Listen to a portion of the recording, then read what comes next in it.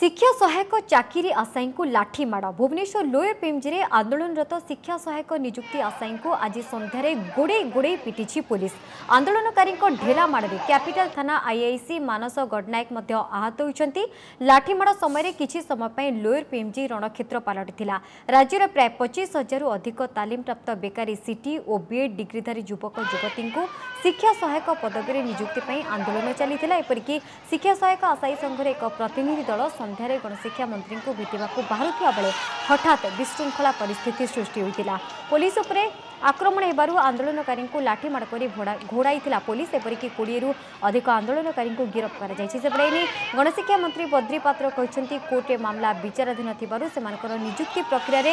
ବିଳମ୍ବ ହୋଇଛି ପୁଣି ଥରେ ଆବେଦନ କଲେ ସଂଘର ଦାବି ଉପରେ ବିଚାର କରାଯିବ ଆଉ ତାଙ୍କ ଏଜିଟେସନ୍ର ଯେତେବେଳେ ତାଙ୍କ ଲିଡ଼ରମାନଙ୍କୁ ଡାକିକରି କଥାବାର୍ତ୍ତା କରିବା ପାଇଁ ପଠା ହେଇଥିଲା ସେହି ସମୟରେ ସେମାନେ ଭାଉଲାଣ୍ଟ ହେଇକରି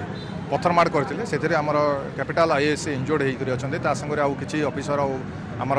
ଫୋର୍ସ ବି କିଛି ଇଞ୍ଜୋର୍ଡ ହେଇଛନ୍ତି ତାପରେ ତାଙ୍କୁ ଘୋଡ଼େଇ ଦିଆଯାଇଥିଲା କିନ୍ତୁ ସେକେଣ୍ଡ ଥର ପୁଣି ଥର ସେମାନେ ଆସିକରି ରାସ୍ତା ବନ୍ଦ କରିଥିଲେ ତାପରେ ଏଗେନ୍ ତାଙ୍କୁ ବର୍ତ୍ତମାନ ଘୋଡ଼େଇ ଦିଆଯାଇଛି ବର୍ତ୍ତମାନ ସିଚୁଏସନ୍ ଅଣ୍ଡର କଣ୍ଟ୍ରୋଲ ଅଛି ଆମେ ସ୍ଥିତି ଉପରେ ନଜର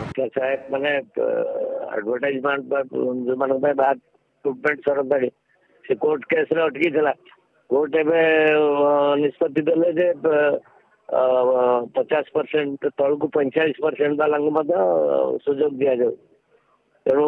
ଆଡଭର୍ଟାଇଜମେଣ୍ଟ ନୂଆ ଆଡଭର୍ଟାଇଜମେଣ୍ଟ ବାହାରିବ ବାହାରିଲେ ସେଥିରେ ଯେଉଁମାନେ ଆସିଲେ